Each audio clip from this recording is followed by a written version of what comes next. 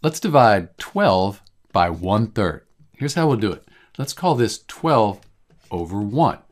It's still 12, we're just dividing by 1, but now we have a fraction, and that'll help us. Instead of division, we're going to multiply by the reciprocal of 1 third.